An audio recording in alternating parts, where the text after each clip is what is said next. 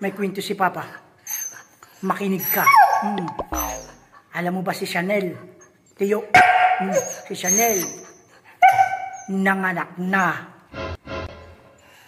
Oo, nanganak na. Alam mo ba yung anak? Yung isa nakita ko. Kamu-kamu.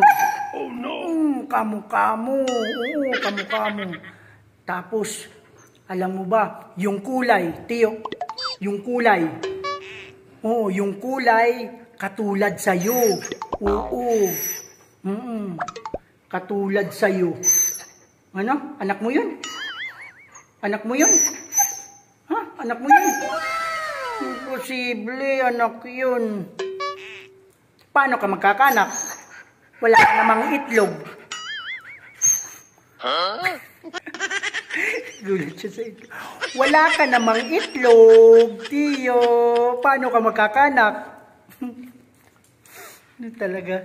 Patawa talaga tong aso na to. Patawa talaga ito. Kakanak ko lang itlog.